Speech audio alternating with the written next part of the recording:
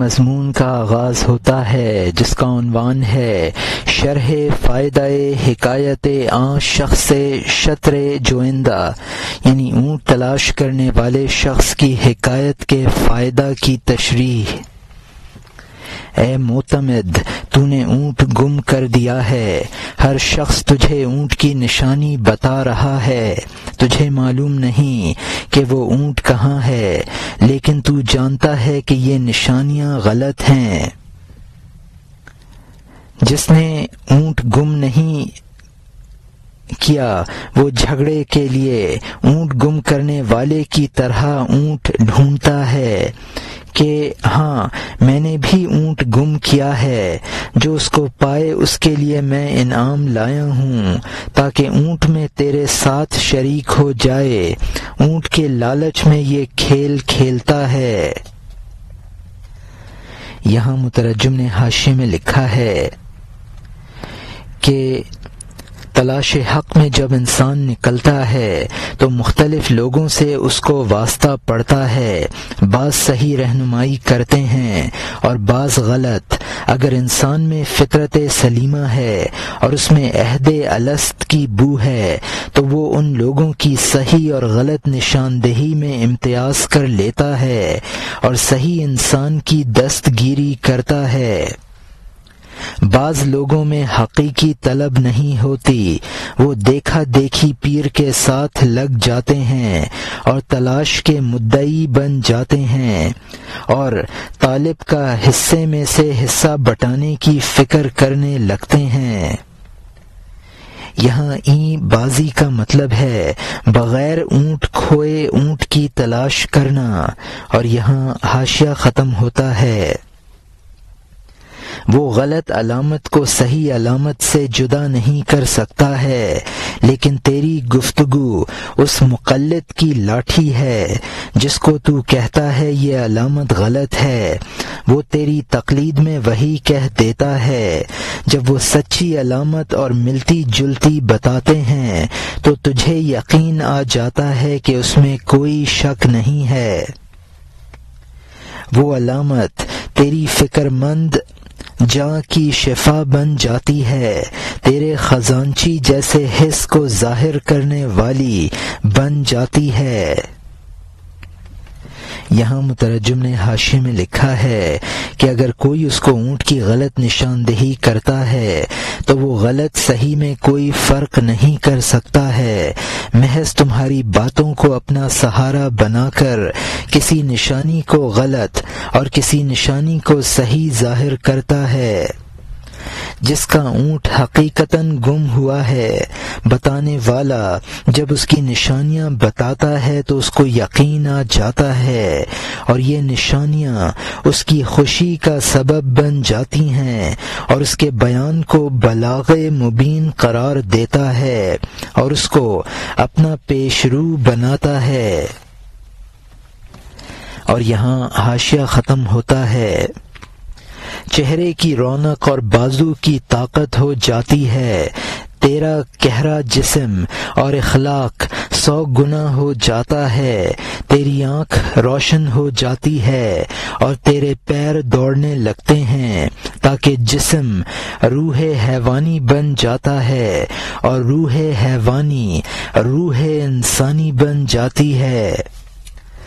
बस तू कहता है, ए अमानतदार तूने सच कहा, ये अलामतें वाजह पैगाम हैं। इसमें रोशन, मोतबर अलामतें हैं। ये दस्तावेज़ हैं और काबिल कदर हैं और ज़रिया निजात हैं। जब उसने ये अलामत बता दी तो कहेगा, आगे चल। अब चलने का वक्त है, आगे आगे चल। ए सच्चे, मैं तेरे पीछे चलूँगा। तूने मेरे ऊँट का सुराग पा लिया। दिखा, वो कहाँ है? यहाँ मुतरजम ने हाशिए में लिखा है कि उसकी जिस्मानी और रूहानी ताकत में इजाफा हो जाता है। हकीकी तालब सही अलामतें बताने वाले से कहता है, तूने जबकि सही अलामतें बता दी हैं तो अब मेरे साथ चलकर उसको पकड़वा दे। और यहाँ हाशिया ख़त्म होता है। उस शख्स के लिए जो ऊँट का मालिक नहीं है तो ऊँट की तलाश में मुकाबले के लिए लगा है। इस सच्ची अलामत ने उसके यकीन में इजाफा नहीं किया। वाकई तौर पर ऊँट तलाश करने वाले की नकल के सिवा यहाँ मुतरजम ने हाशिए में लिखा है कि जो उस गुमशुदा ऊँट का मालिक नहीं और महज मुकाबला के लिए तलाश का मुद्दई बन गया है, उसके लिए सही अलामतें भी कोई मानी नहीं रखती हैं। ये मुद्दई तो हकीकी तालिब की नकलें उतार रहा है और यहाँ हाशिया ख़त्म होता है। उसकी कोशिश और उसकी सरगर्मियों से उसको पता लगा कि उसका शोर गुल ख्वाम नहीं है। इस ऊँट में उसका कोई हक न था, लेकिन उसने भी एक ऊँट ज़रूर खोया है। दूसरे के ऊँट का लालच उसके चेहरे का पर्दा बन गया। जो उसका खोया गया है, उसको उसने भुला दिया है। जिधर वो भागता है, ये भी भागता है। लालच से मालिक का हमदर्द बनता है। एक झूठा जब सच्चे के साथ रवाना होता है, उसका वो झूठ ख्वाम सच हो जाता है। यहाँ मुतरजम ने हाशिए में लिखा है कि इस नक्काल को तालिब की खुशी से यह महसूस हुआ कि ये हकीकी तालिब था। हकीकी तालिब का जो ऊँट था, उस नक्काल का उसमें कोई हिस्सा न था, लेकिन उसका ऊँट भी गुम हुआ था। उस ऊँट के लालच में उसने उसको फरामोश कर रखा था। सही तालिबों के साथ जब नकाल लगता है तो बसा औकात, उसको अपनी गुमशुदा चीज़ भी याद आ जाती है और वो उसको हासिल कर लेता है। और यहाँ हाशिया ख़त्म होता है। जिस जंगल में वो ऊँट भागा, उस दूसरे ने अपना ऊँट भी पा लिया। जब उसने उसको देखा तो अपना ऊँट याद आ गया और उस दोस्त के ऊँट से बहुत बेतमा हो गया।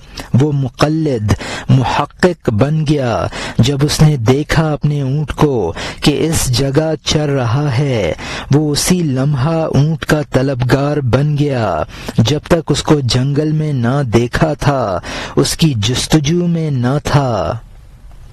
उसके बाद उसने तन्हा रवि शुरू कर दी। अपनी ऊंटनी को नस्बुल ऐन बना लिया। यहाँ मुतरजम ने हाशि में लिखा है कि तालब हकीकी को जिस जगह मतलूब मिला, उस नक़ाल को भी उसका फरामोश शुदा मतलूब मिल गया।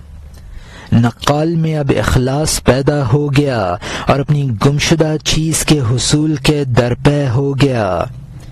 तालब हकीकी तो फितरी सलाहियत की बिना पर कामयाब हुआ और ये उसकी कामयाबी को देख कर राह पर लगा। पहले उसने नकली तलब थी, उसकी नकली तलब थी, अब हकीकी तलब हो गई। और यहाँ हाशिया ख़त्म होता है। सच्चे ने उससे उससे कहा, तूने मुझे छोड़ दिया। अब तक तू मेरा साथ दे रहा था। उसने कहा, अब तक मैं बनावटी था, लालच से खुशामद में लगा था। अब मैं तेरा हमदर्द हूँ, क्योंकि मैं तलब में मसलहतन तुझसे जुदा हुआ हूँ। मैं तुझसे ऊँट के औसाफ छुपाता था। मैंने मतलूब पा लिया, मैं शेर चशम हो गया। यहाँ मुतरजम ने हाशिए में लिखा है, अब ये मुद्दई भी हकीकी तालिब बनकर अपने रास्ते पर लग गया। अब मैं हकीकी मानी में पीर भाई और हमदर्द हूँ। जब मैंने अपने हकीकी मतलूब को समझ लिया तो तुम्हारी चीज़ से इस्तगना पैदा हो गया। और यहाँ हाशिया ख़त्म होता है जब तक मैंने उसको ना पाया था, मैं उसका तलबगार न था। तांबा अब मखलूब हो गया, उस पर सोना गालिब आ गया। खुदा का शुक्र है, मेरी बुराइयाँ सब भलाइयाँ बन गईं। शुक्र है, मज़ाक खत्म हुआ और संजीदगी आ गई। मेरी बुराइयाँ, चूँकि हक का वसीला बन गईं, तू मेरी बुराइयों पर एतराज़ न कर। तुझे तेरी सच्चाई का ने तलबगार बनाया था मेरे लिए। कोशिश और तलब ने सच्चाई वाजह कर दी। यहाँ मुतरजम ने हाशिए में लिखा है कि जब तक मुझे अपना मतलूब नज़र न आया था, मैं उसका हकीकी तालिब न बना था। अब नकली तलब ख़त्म हो गई है और हकीकी तलब गालिब आ गई है। मेरी नक्काली, जो एक बुराई थी, भलाई में तब्दील हो गई और हकीकी तालिब बन गया हूँ। तेरी हकीकी तलब ने तुझे तालिब बनाया था। मेरी नक्काली ने मुझे हकीकी तलब तक पहुँचा दिया है। और यहाँ हाशिया ख़त्म होता है। तेरी सच्चाई ने तुझे जस्तजू में मुब्तला किया। मेरी जस्तजू ने मुझे सच्चाई में पहुँचा दिया। मैंने नसीबे का बीज ज़मीन में बोया था, जिसको मैं मज़ाक और बेकार समझ रहा था। वो बेकार न था, सही मेहनत थी। मैंने जो एक दाना बोया, सौ उगे। चोर छुप कर एक घर में घुस गया। जब अंदर पहुँचा, देखा कि वो उसी का घर है।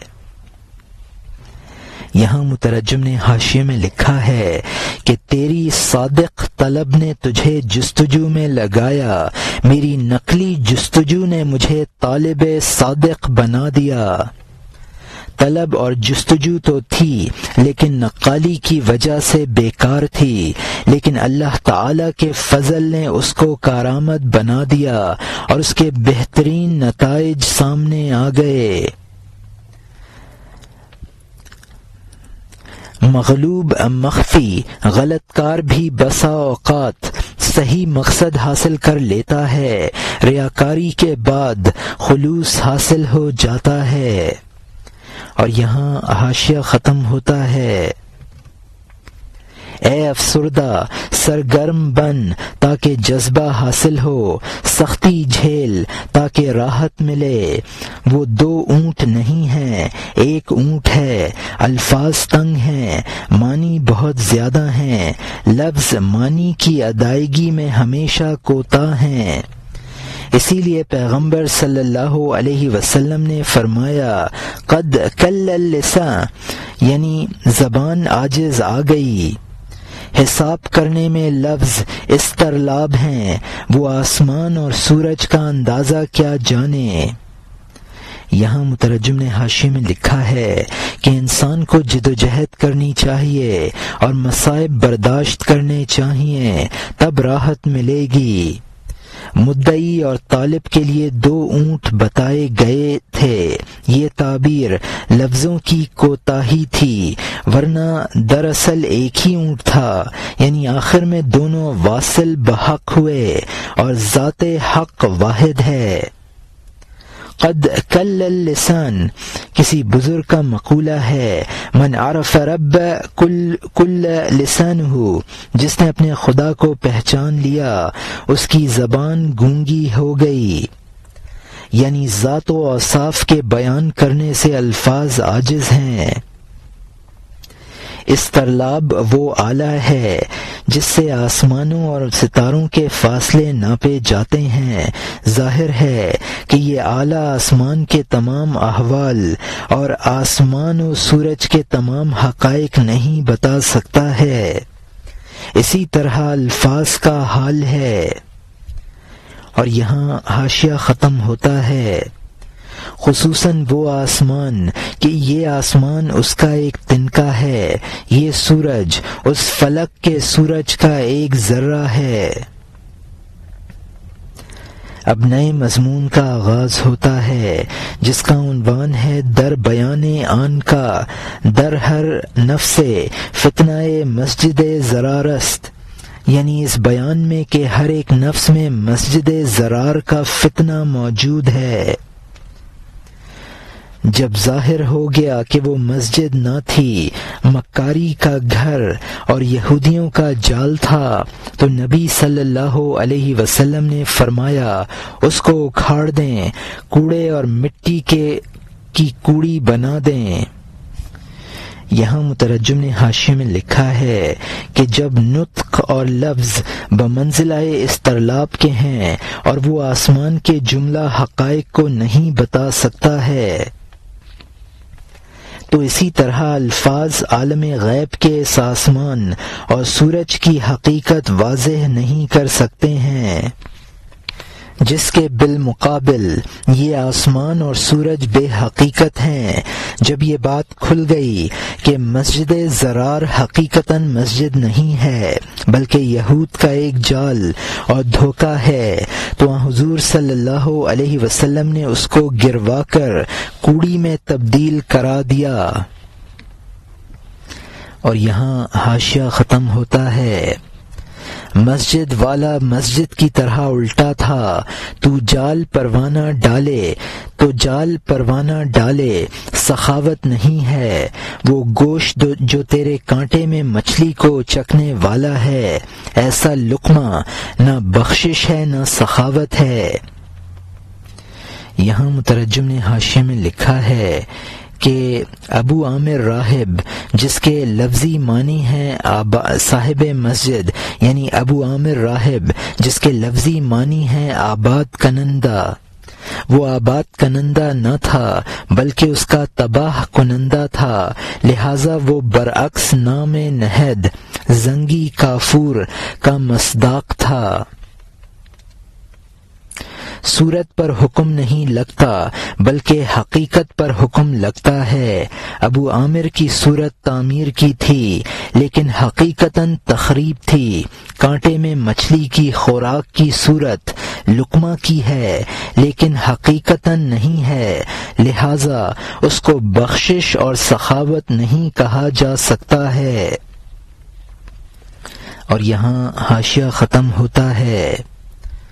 कुबा वालों की मस्जिद जो पत्थर की थी, जो मस्जिद उसके हम जिन्स न थी, उसने उसको रास्ता न दिया। जमादात में भी ऐसा जुल्म चालू न हुआ। उस गैर जिन्स में हाकिम आला ने तेल छिड़कवा दिया। वो तो वो हकायक जो उसूलों की असल हैं, समझ ले, उनमें बड़ा फ़र्क और इम्तियाजात हैं। यहाँ मुतरजम ने हाशिए में लिखा है कि मस्जिद कुबा पत्थर की बनी हुई थी, जिसमें एहसास नहीं होता है, लेकिन उसने भी गैर जिन्स, यानी मस्जिद जरार को गवारा न किया। मस्जिद जरार मस्जिद कुबा के बराबर कर दी जाए। जिस तरह मस्जिद और मस्जिद में फ़र्क है, इसी तरह हक़ इंसानिया जो तमाम हक़ की असल और जड़ हैं, उनमें बहुत फ़रूक हैं। एक इंसान और दूसरे इंसान में बहुत बड़ा फ़र्क और फ़सल है। और यहाँ हाशिया ख़त्म होता है। न उस मफजूल की ज़िंदगी उस फाजिल जैसी होगी, न उस मफजूल की मौत इस फाजिल की मौत की तरह होगी। उस मफजूल की कबर को उस फाजिल की कबर की तरह न समझ। अब मैं उस आलम आखरत के फ़र्क की हालत क्या बताऊँ? ए मारूफ अमल, अपने अमल को कसौटी पर परख ले, कहीं तू अहले जरार की मस्जिद बना ले। तूने इस मस्जिद के बनाने वालों की बहुत मज़ाक उड़ाई, जब तूने गौर किया तो खुद वैसा था। यहाँ मुतरजम ने हाशिए में लिखा है कि अफजल और मफजूल की न ज़िंदगी यकसा है, न मौत। दुनिया में दोनों की कब्रों में भी बड़ा फ़र्क है। आखरत में जो फ़र्क होगा, उसका तो बयान ही क्या हो सकता है? इंसान को अपने अमाल को परखना चाहिए। कहीं उनमें छुपा हुआ हसद और रिया कार फरमा न हो और उसके अमल की सूरत मस्जिद जरार की सी सूरत न हो। बसा औकात इंसान दूसरों के उन्हीं अयूब की मज़ाक उड़ाता है जो उसमें खुद छुपे हुए हैं। इस मजमून को मौलाना ने इस हकायत से वाज फरमाया है। और यहाँ हाशिया ख़त्म होता है। अब नए मजमून का आगाज़ होता है, जिसका उनवान है, हिकायत हिंदू के बायारान खुद जंग मी करद, के बदकारीद और खबर नदाश्त, के खुद नीज बुदा मुबतलास्त। यानी उस हिंदुस्तानी का किस्सा जो अपने साथियों से लड़ रहा था कि तुम बदकार हो और उसको खबर ना थी कि खुद इस बुराई में मुबतला है। चार हिंदुस्तानी एक मस्जिद में पहुँचे, इबादत के लिए रुकू और सिजदे में गए। हर एक ने एक नियत करके तकबीर कही। मिस्कीनी और दर्द के साथ नमाज़ में लग गया। मुअज्जिन आया। उनमें से एक की जबान से ये लफ्ज निकला, ए मुअज्जिन तूने अजान दे दी, वक्त हो गया है। दूसरे हिंदुस्तानी ने लजाजत से कहा, हाय, तूने बात कर ली और नमाज़ टूट गई। तीसरे ने दूसरे से कहा, ए चचा, उसको क्या ताना देता है? खुद को दे। चौथा बोला, खुदा का शुक्र है कि मैं इन तीनों की तरह मैं कुएँ में नहीं गिरा हूँ। तो चारों की नमाज़ बर्बाद हुई। ऐब जो खुद ज़्यादा ऐब जू, खुद ज़्यादा गुमराह हुए। काबिल मुबारकबाद है वो शख्स जो अपना ऐब देखे, जो कोई ऐब बताए, अपने लिए तस्लीम कर ले। यहाँ मुतरजम ने हाशिए में लिखा है कि हिंदू से यहाँ मुराद हिंदुस्तानी मुसलमान है। मोजिन, यानी मोजिन आया तो नमाज़ की हालत में उससे बातें करने लगा। पूछा कि क्या अजान का वक्त हो गया है? दूसरे नमाजी ने नमाज़ की हालत में पहले नमाजी से कहा, तूने नमाज़ में बात कर ली, तेरी नमाज़ टूट गई। तीसरे ने नमाज़ की हालत में दूसरे से कहा, पहले को क्या ताना देता है? तेरी नमाज़ खुद टूट गई। चौथा, नमाज़ की हालत में बोला, खुदा का शुक्र है मैंने इन तीनों की तरह अपनी नमाज़ खराब नहीं की। बस इन चारों में से हर एक दूसरे का ऐब ज़ाहिर कर रहा था, हालाँकि वही ऐब खुद उसमें मौजूद था। वो शख्स काबिल मुबारकबाद है, जो दूसरों की ऐप जोई न करे और अपने ऐप को तस्लीम कर ले। और यहाँ हाशिया ख़त्म होता है, क्योंकि उसका आधा ऐबों की दुनिया का है, दूसरा आधा आलम गैब का है, क्योंकि तेरे सर पर सौ जख्म हैं, उनका मरहम अपने ऊपर लगाना चाहिए। जख्म को बुरा समझना ही उसका इलाज है। जब खाकसार बन गया, इरहमू का महल है। अगर वो ऐब तुझ में नहीं है तो भी मुतमिन न हो। हो सकता है कि वो ऐब तुझ में ज़ाहिर हो जाए। यहाँ मुतरजम ने हाशिए में लिखा है कि इंसान का आधा हिस्सा जिसम है और आधा हिस्सा रूह है। जिसम आलम खल की चीज़ है जो मफासद से पुर है। लिहाजा हर इंसान का ऐबदार होना मुमकिन है। लिहाजा उसको अपना ऐब तस्लीम कर लेना चाहिए। हर इंसान में जब अयूब मौजूद हैं तो अपने ऐबों की इसलाह की फ़िक्र करनी चाहिए। अगर इंसान अपने अपने जख्म को बुरा समझता है तो ज़रूर उसके मुआलजा में लगेगा। अपने ऐब को तस्लीम करना, इनकसारी इख्तियार करना है, जो रहमत का सबब और मकाम है। इरहमू, यानी तुम रहम करो, यानी मुनकसर इंसान पर खुदा ने रहम करने का हुक्म सादर फरमाया है। जो ऐप तू दूसरों में बता रहा है, अगर वो तुझ में नहीं है तो भी तू उस ऐप के बारे में मुतमिन न हो। खुदा ऐब जू में वही ऐब पैदा कर देता है।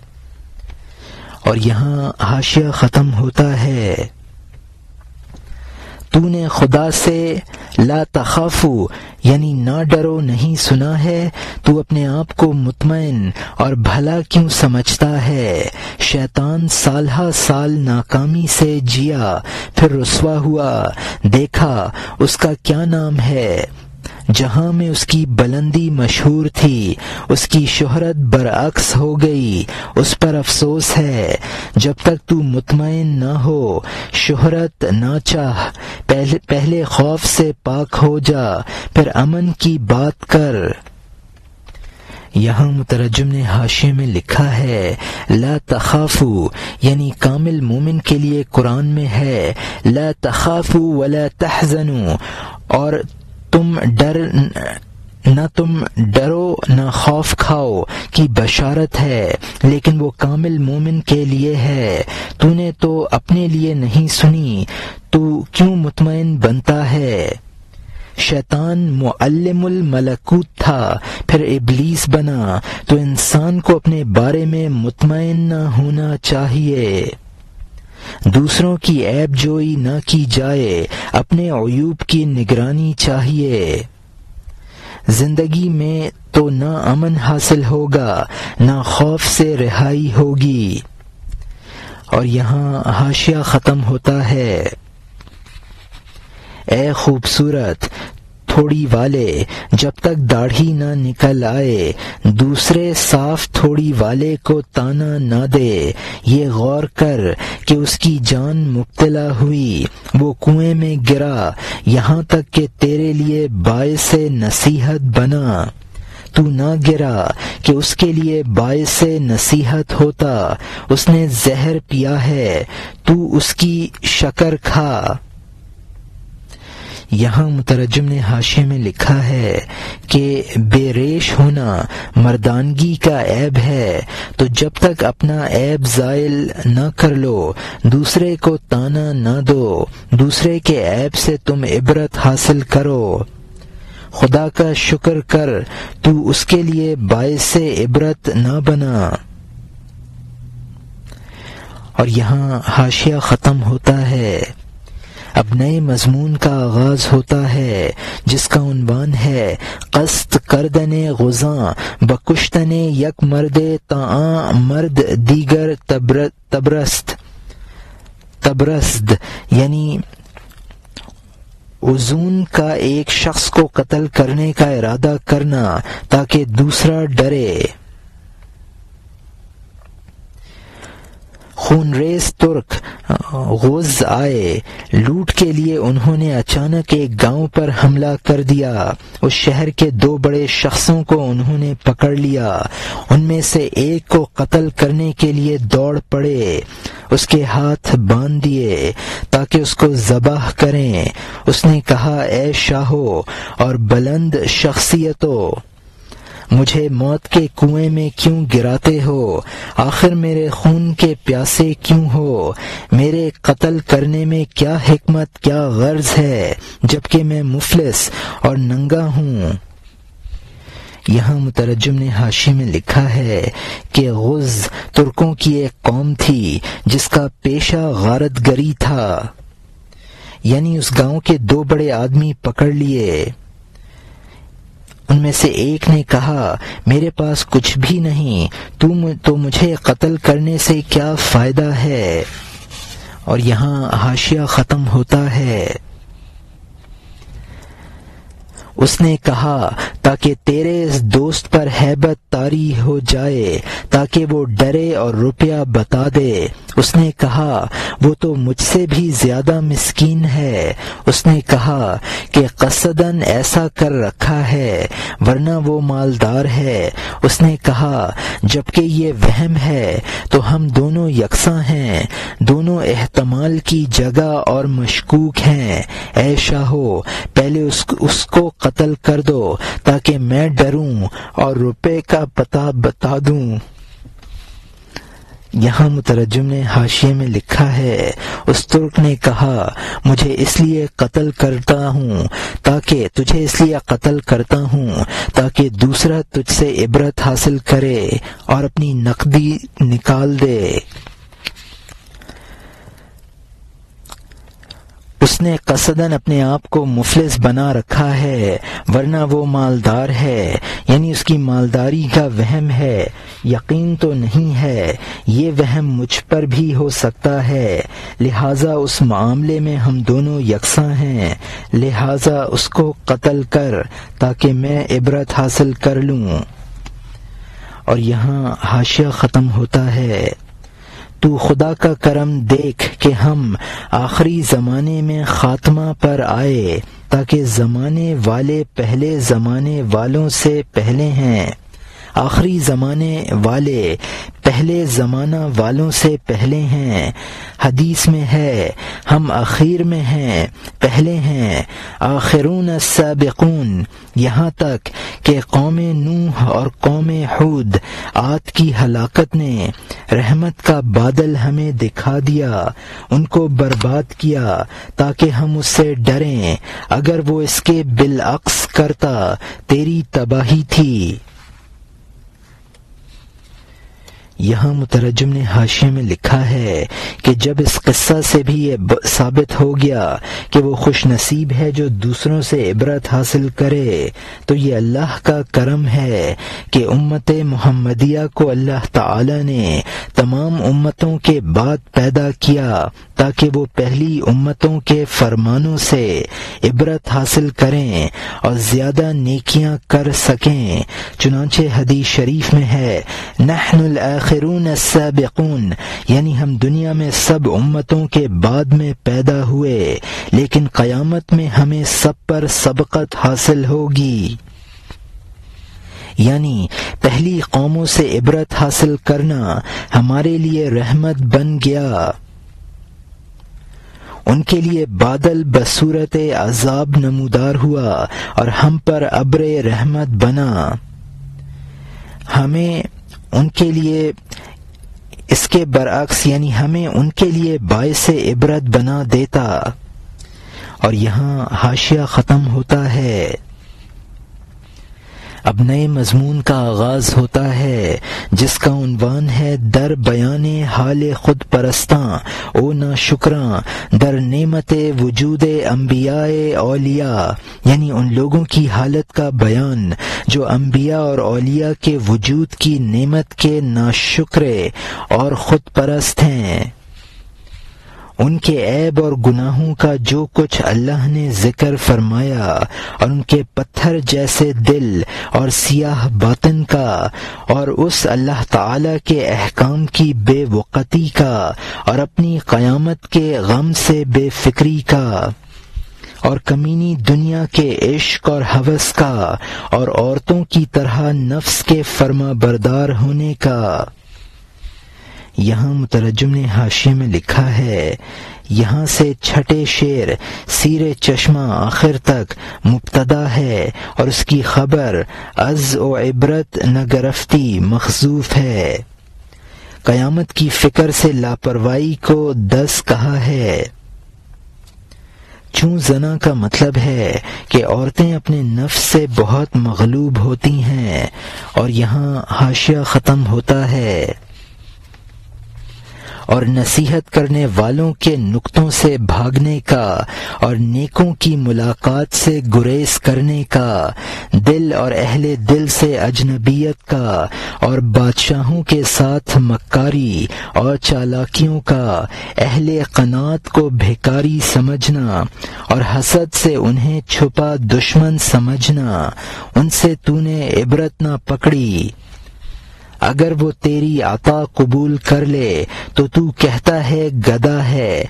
वरना तू कहता है कि मकर और झूठ और दगाबाजी है। अगर वो मेल जोल करे तो तू कहता है, लालची है। वरना तू कहता है तकबर पर फरीफ्ता है। यहाँ मुतरजम ने हाशिए में लिखा है, गर्ज ये कि इन कौमों के ये बुरे अहवाल और उनका बुरा अंजाम तेरे सामने है, लेकिन तूने उनसे कोई इबरत हासिल न की। और यहाँ हाशिया ख़त्म होता है। अगर वो तहमुल करे तो कहता है आजिज है। अगर गैरतमंद है तो कहता है गुस्सा वर है। या मुनाफिक की तरह तो उज़र करता है कि मैं बच्चों और बीवी के अखराज में फंसा हूँ। न मुझे सर खुजाने की फुर्सत है, न मेरे लिए दीन में लगने का मौका है। ए फला, हमें भी दुआ में याद रखिए, ताकि अंजाम कार हम भी औलिया में से हो जाएँ। यहाँ मुतरजम ने हाशिए में लिखा है, यानी तेरी हालत ये है कि तेरी हालत ये है कि अगर कोई बुज़ुर्ग लोगों की बुराई पर बर्दाश्त से काम लेता है तो कहता है कि ये आजिज है, किसी का बिगाड़ ही क्या सकता है? और अगर वो नागवारी का इजहार करे तो उसको मखलूबुल गजब कहता है। बुज़ुर्गों से तो मुनाफिकाना बर्ताव करता है। दीन के कामों में न लगने की वजह बाल बच्चों की मसरूफियत बताता है और कहता है कि सर खुजाने की फुर्सत नहीं। दीन के कामों में कैसे लगूं? बगैर कुछ किए बुज़ुर्गों से बातनी तवज्जो का खास गार है ताकि वली बन जाए। और यहाँ हाशिया ख़त्म होता है। ये बात भी दर्द और सोच से नहीं कही। नींद का माता बड़बड़ाया और फिर सो गया। बाल बच्चों की रोजी से कोई छुटकारा नहीं है। बड़ी मेहनत से हलाल रोजी कमाता हूँ। हलाल क्या? तू गुमराहों में से हो गया है। तेरे खून के सिवा मैं कुछ हला, मैं कुछ हलाल नहीं समझता हूँ। खुदा से छुटकारा है और रोजी से नहीं है। दीन से छुटकारा है, शैतान से नहीं है।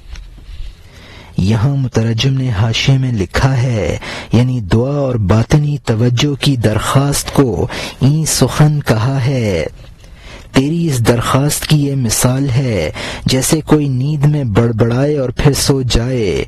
मजबूरी ज़ाहिर करता है कि बाल बच्चों का पेट पालने के लिए मेहनत से हलाल रोजी कमाने में मसरूफ हूँ। इन सूरतों में तो हलाल रोजी क्या कमाता? तेरा खून बहाना ही हलाल है और तू वाजिबुल कत्ल है। ये सारी मजबूरियाँ खुदा और दीन के मामले में हैं, शैतान और खाने कमाने में नहीं हैं, और यहाँ हाशिया ख़त्म होता है। ए वो कि तुझे कमीनी दुनिया के बगैर सबर नहीं है, हम अच्छा फर्श बिछाने वाले हैं कि बगैर तुझे कैसे सबर हासिल है? ए वो, कि ऐशो इशरत के बगैर तुझे सबर नहीं है। अल्लाह करीम के बगैर तुझे कैसे सबर है? ए वो, कि पाक नापाक के बगैर तुझे सबर नहीं है, जिसने तुझे पैदा किया है, उसके बगैर तुझे कैसे सबर है? ए वो, कि तेरे लिए बगैर मुकद्दर पानी के सबर नहीं है, अल्लाह ताला के चश्मे के बगैर तू कैसे साबिर है? ए वो, कि तुझे बाल बच्चों के बगैर सबर नहीं है, हई जुलमिनन से तू कैसे सबर करता है। यहाँ मुतरजम ने हाशिए में लिखा है कि दुनियादारी में भागा फिरता है और दीन के मामले में बेअमल बनकर साबिर बन बैठा है। नमल माहिदून, यानी कुरान में खुदा ने अपने बारे में फरमाया है कि हम अच्छा फर्श बिछाने वाले हैं। तू दुनिया की लज्जतों से साबिर नहीं है, उनके लिए तगो दो में है, अल्लाह के मामले में सबर है, कोई काविश नहीं है। दुनिया की हर अच्छी बुरी चीज़ के लिए जिदोजहद है, अल्लाह जो खालिक है, उससे बेनियाजी है। हये जुलमिनन, यानी दोनों खुदा के नाम हैं। और यहाँ हाशिया ख़त्म होता है।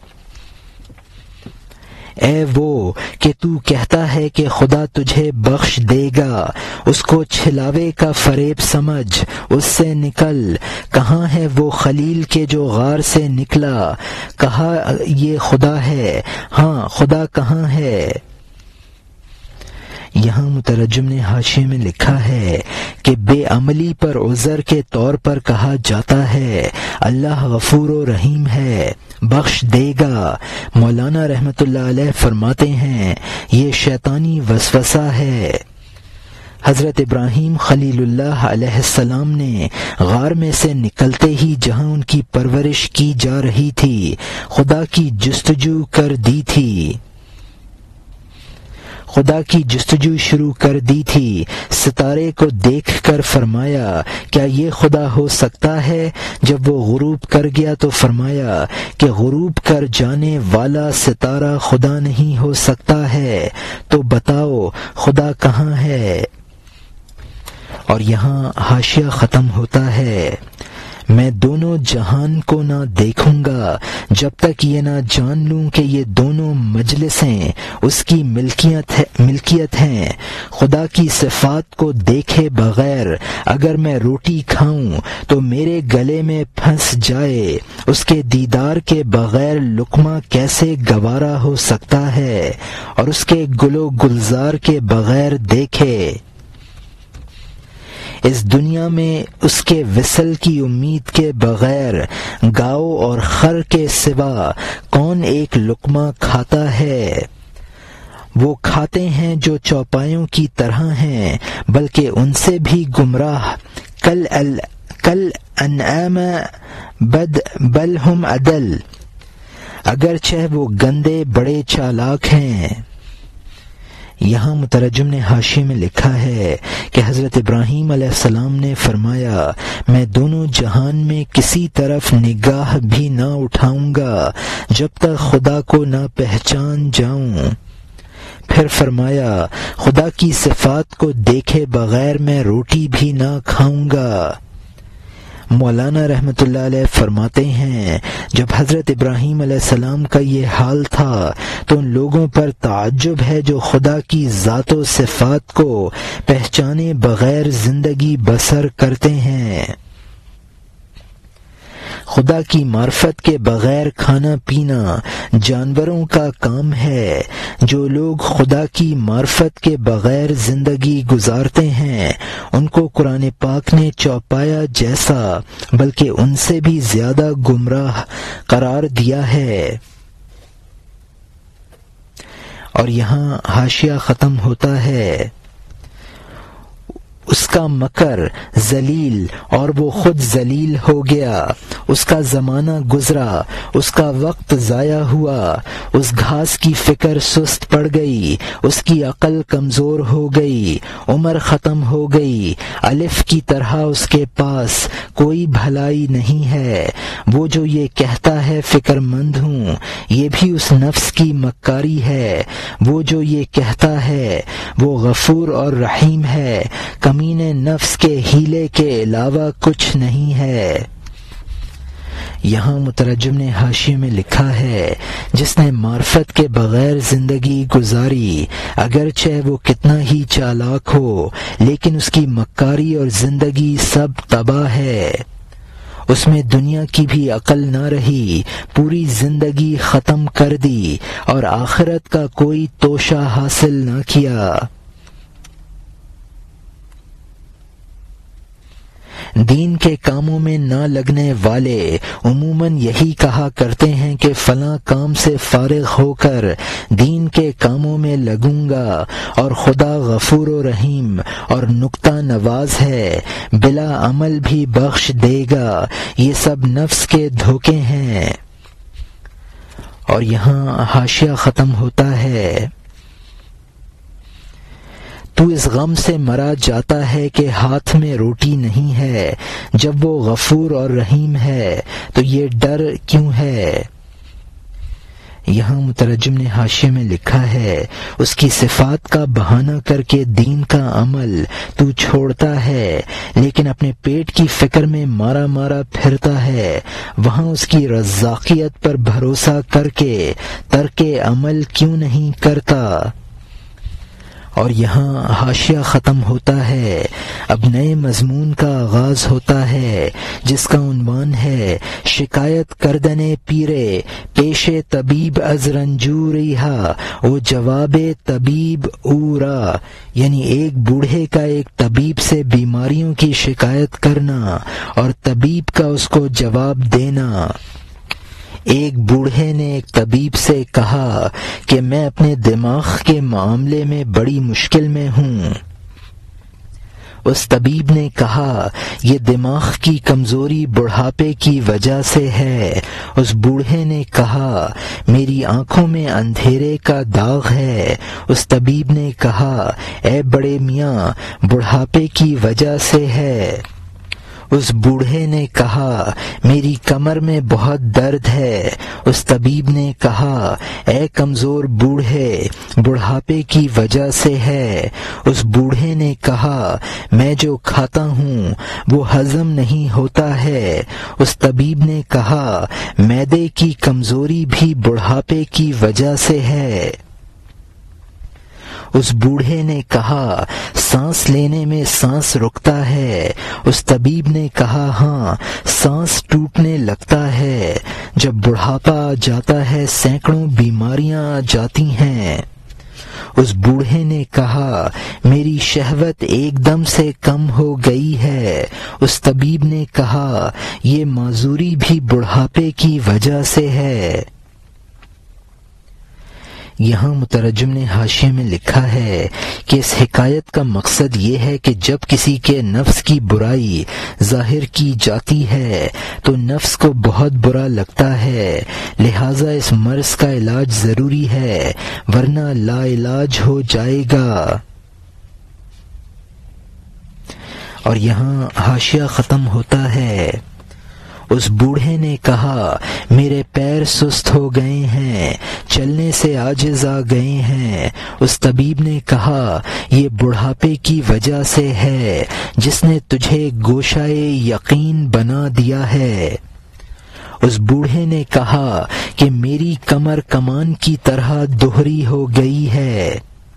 उस तबीब ने कहा, ये तकलीफ़ और मुशक्कत बुढ़ापे की वजह से है। उस बूढ़े ने कहा, ए हकीम, मेरी आँखों में धुंध है। उस तबीब ने कहा, ए बर्बाद बूढ़े, बुढ़ापे की वजह से है। उस बूढ़े ने कहा, ए बेवकूफ़, तू इस पर जम गया, तबाबत से तूने यही सीखा है।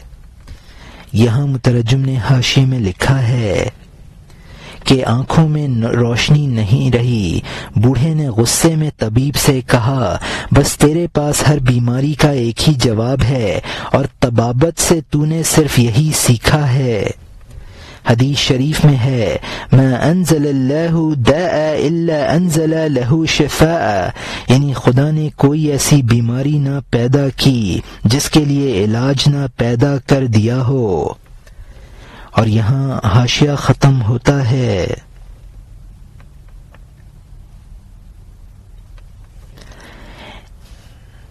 बस तबीब ने उससे कहा, ए ए बददिमाग, तेरी अकल ने तुझे ये समझ नहीं दी कि खुदा ने हर दर्द का इलाज रखा है। तू कम इल्मी की वजह से अहमक गधा है। तू कोता कदमी की वजह से ज़मीन पर रह गया है।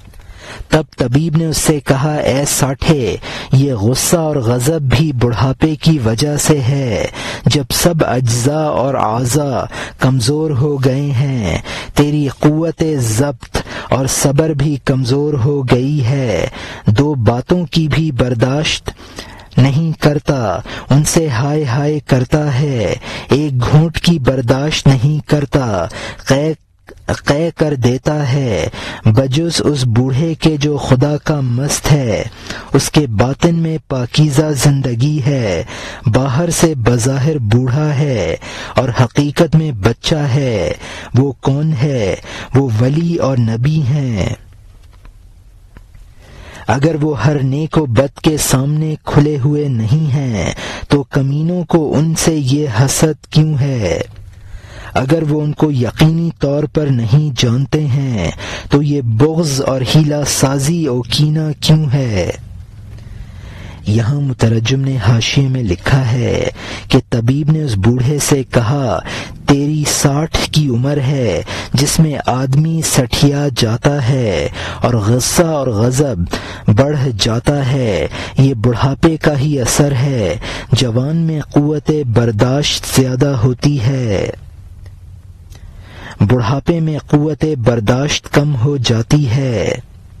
मगर जिनको रूहानी ताकत हासिल हो, उन पर बुढ़ापे के आसार नुमाया नहीं होते हैं। औलिया और अंबिया का जिस्म बूढ़ा होता है, हिम्मत जवान रहती है। नाकस लोगों का बुग्ज और हसद कामिल लोगों के कमाल की दलील है।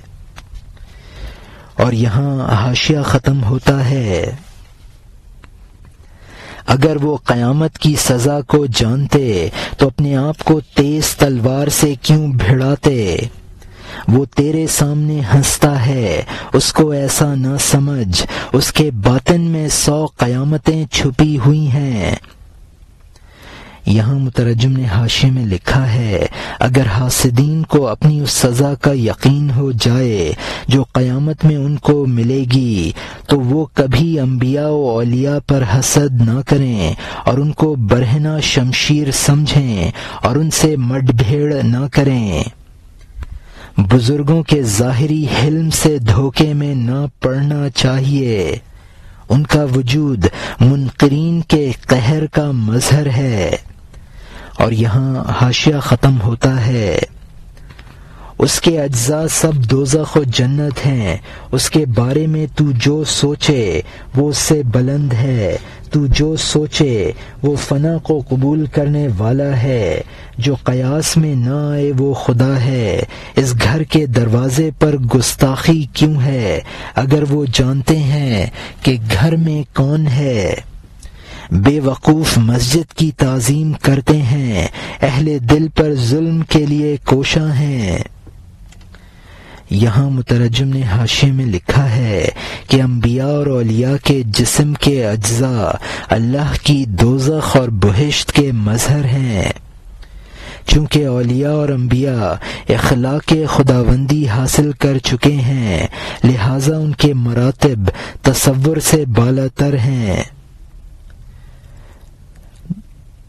जो इंसानी फ़िक्र में समा जाए, वो फानी है, वो खुदा नहीं हो सकता है। खुदा वही है जो इंसानी फ़िक्र अकल से बालातर है।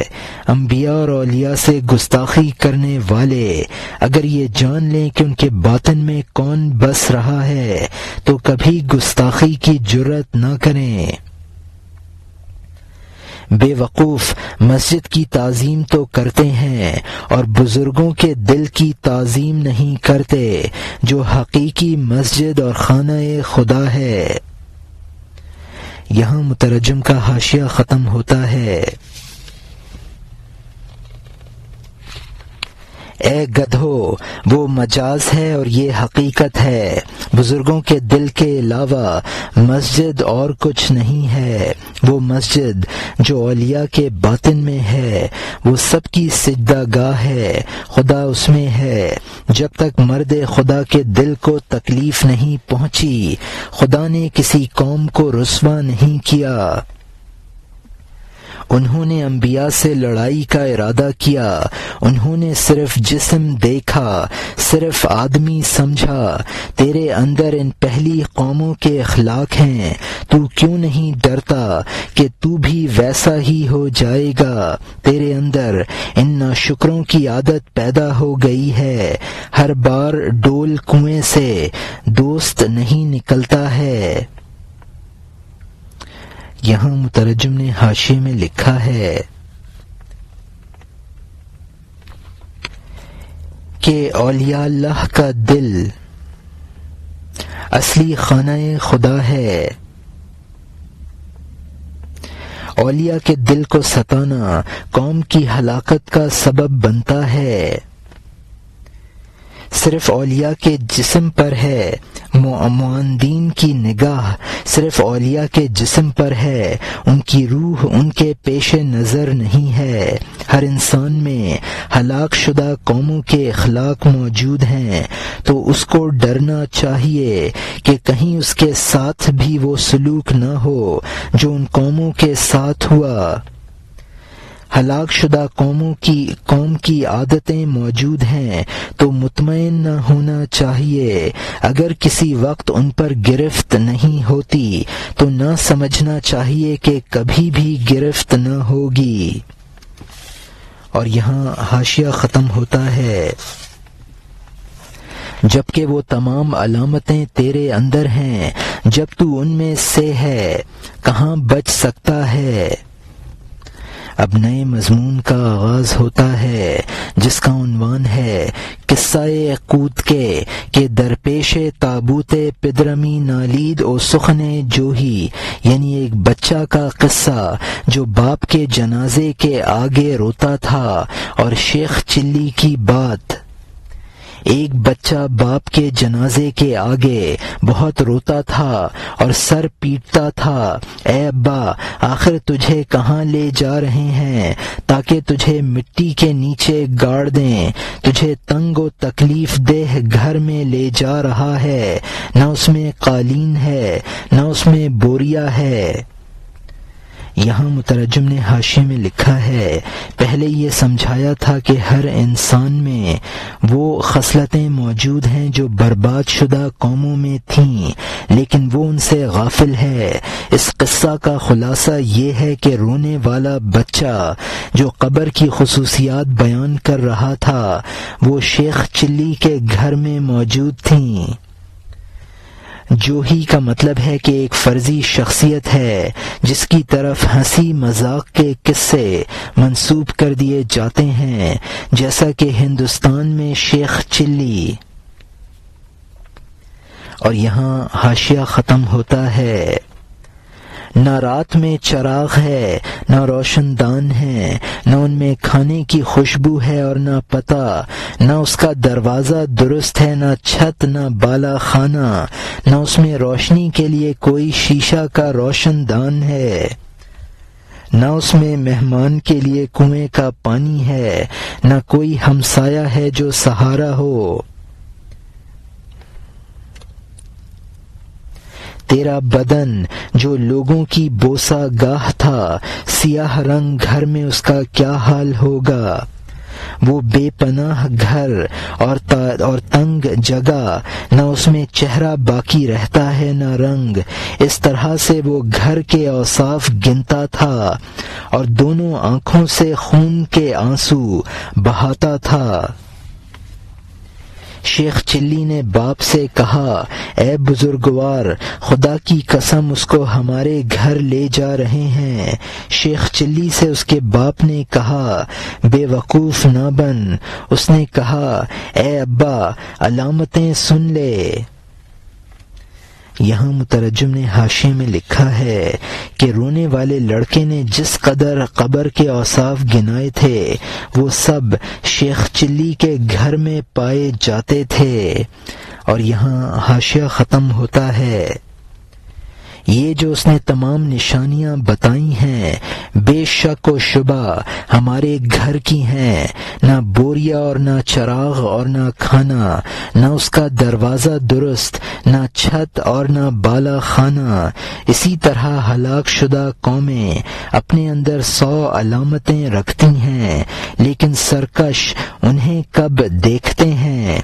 उस दिल का खाना जो बेनूर है, खुदा के आफताब की शुआओं से, वो यहूद के बातिन की तरह तंगो तारीख है, मोहब्बत करने वाले शहनशाह के जौक से महरूम।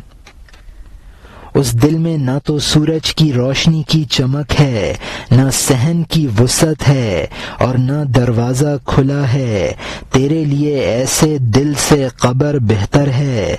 बिलाखिर, अपने दिल की कबर से बाहर निकल। यहाँ मुतरजम ने हाशिए में लिखा है कि जिस तरह आर्जी तौर से हज़रत यूसुफ सलाम कैद खाना में चले गए थे और बाहर निकले तो भी दिल को कैद खाने से बाहर निकाल और बाहर निकले तू भी दिल को कैद खाने से बाहर निकाल। यानी तेरी रूह जो बमंजिला यूनुस सलाम के है। जिस दे अंसरी को बतने माही कहा है। हज़रत यूनुस सलाम ने निजात के लिए तस्बीह पढ़ी तो मछली के पेट से बाहर निकले, तू भी तस्बीह पढ़। युब असून यानी हज़रत यूनुस के क़स्सा में है, फलौला अन्नहु कैन मिनल मुसब्बिहीन। ललबथ फ़ी बतनही इला यौम युबअसून यानी अगर वो यूनुस तस्बीह पढ़ने वालों में से न बन जाते तो उस दिन तक उस मछली के पेट में रहते जबकि लोगों का हशर होगा यानी क़यामत तक रोज़े अलस्त का मतलब है, यानी अजल में अल्लाह ताला ने रूहों से अपनी रुबूबियत का इकरार लिया था तो इंसान की तस्बीह और खुदा की तरफ़ फितरी मैलान उस अहद अलस्त की अलामत और निशानी है। और यहाँ हाशिया ख़त्म होता है। तू यूसुफ दौरा है और आसमान का सूरज है। इस कुएँ और कैद खाने से निकल और चेहरा दिखा। तेरा यूनुस मछली के पेट में पक रहा है। उसकी निजात के लिए तस्बीह के सिवा चारा नहीं है। अगर वो तस्बीह खुआना बनते, मछली का पेट तो कयामत तक उनके लिए कैद और जेल खाना होता। उन्होंने तस्बीह के ज़रिए मछली के पेट से निजात पाई। तस्बीह क्या है? अलस्त के दिन की अलामत। तो अगर वो रूहानी तस्बीह भूल गया है तो मछलियों की ये तस्बीह सुन ले। यहाँ मुतरजम ने हाशे में लिखा है, अगर किसी इंसान में अहद अलस्त की फितरत सलीमा बाकी नहीं रही है तो अलिया अल्लाह से उसको हासिल कर ले। और यहाँ हाशिया ख़त्म होता है। जिसने अल्लाह ताला को देख लिया, वो अल्लाह वाला है। जिसने उस समंदर को देख लिया, वो मछली है है। ये दुनिया समंदर है, जिसम मछली और रूह। वो यूनुस सलाम है, जो सुबह के नूर से महरूम है। अगर तू तस्बी ख्वा बन गया, मछली से निजात पा गया, वरना उसमें हजम और नापैद हो गया। यहाँ मुतरजम ने हाशिए में लिखा है, जिसने बहरे वहदत का मुशाहिदा कर लिया, वो माही कहलाएगा।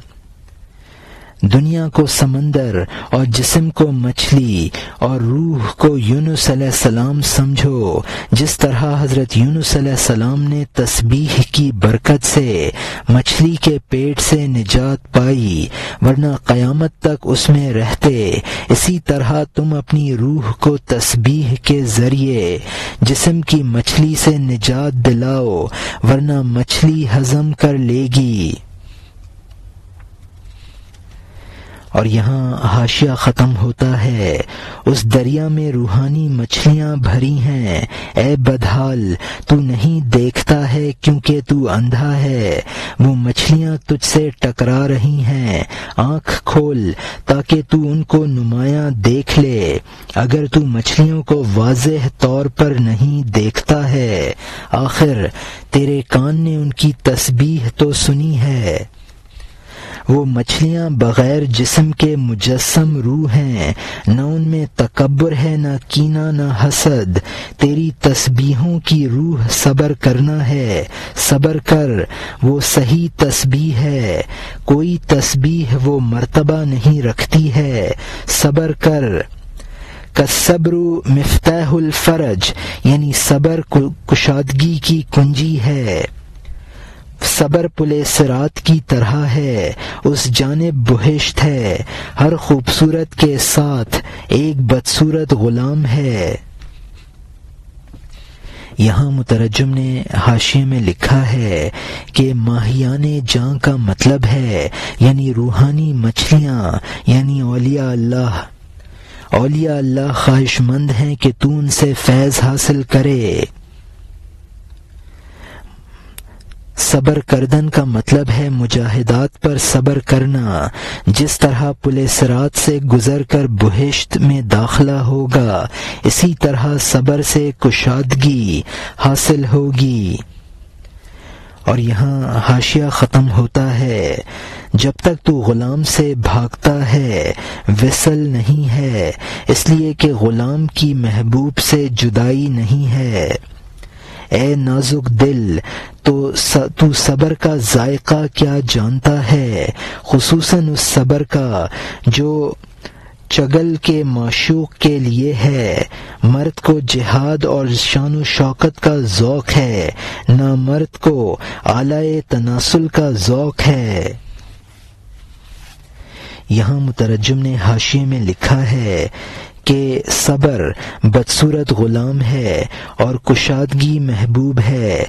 कुशादगी हासिल करने के लिए सबर की तलखी बर्दाश्त करना ज़रूरी है। वासिल बहक होने में सबर की दुश्वारियों से अहलुल्लाह लज्जत हासिल करते हैं। दूसरा इस सबर की लज्जतों से वाकिफ नहीं है। सबर की लज्जत मर्द खुदा जानता है। जिस तरह के मर्द मैदान जंग और शान शौकत की लज्जत समझता है। नामर्द इन लज्जतों से वाकिफ नहीं है। उसका फ़िक्र फ़िक्र लज्जत तो महज शर्मगाह और उसके ज़िक्र तक महदूद है। और यहाँ हाशिया ख़त्म होता है। उसका दीन और तस्बीह आलाए तनासुल के सिवा कुछ नहीं है। उसका ख्याल उसको पस्ती की तरफ़ ले गया। अगर वो आसमान तक चढ़ जाए, उसकी पुरसिश न कर। इसलिए कि उसने तो पस्ती के इश्क का सबर, सबक सीखा है। वो पस्ती की तरफ़ घोड़ा दौड़ा रहा है।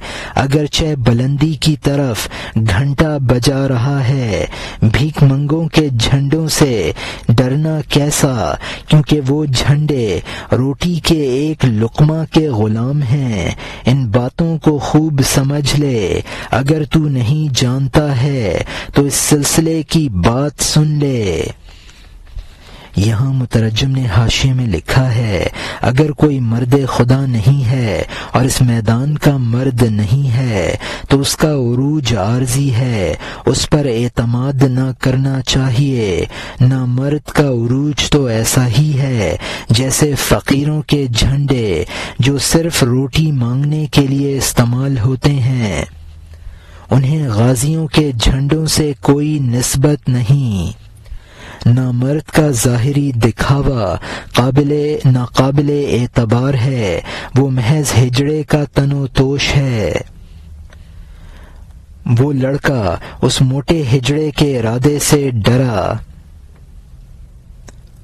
और यहाँ मुतरजम का हाशिया ख़त्म होता है।